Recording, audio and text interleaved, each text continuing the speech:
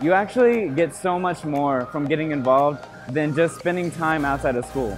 It's, it's really a secondary education that you kind of give yourself. You give yourself opportunities to become a leader, uh, make friends, and those friends can help you with school. And I just implore you to get involved because you meet faculty, you make those connections, and they really help you in your career as you go forward as a Roadrunner.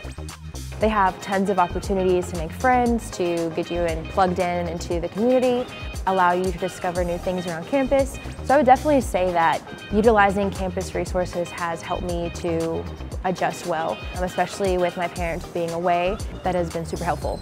Once I stepped onto UTSA's campus, I fell in love with this campus. I felt the liveliness and just how happy everyone seemed. And I saw that the campus was ready to serve the students. We have so many different services here. There's tutoring, and there's not even just like one tutoring center. There's like multiple tutoring centers, you know?